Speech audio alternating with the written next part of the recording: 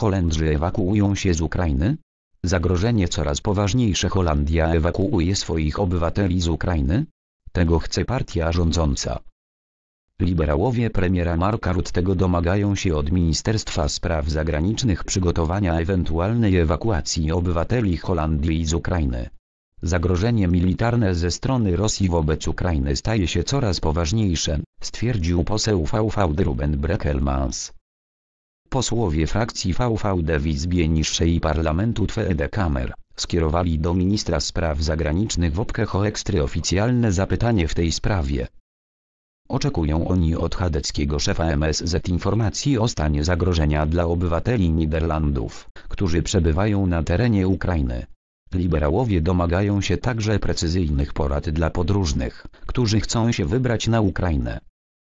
100 tysięcy żołnierzy na granicy z Ukrainą Rosja zgromadziła na granicy z Ukrainą około 100 tysięcy żołnierzy. Kreml domaga się m.in. gwarancji, że Ukraina i inne kraje byłego ZSRR nie przystąpią do NATO.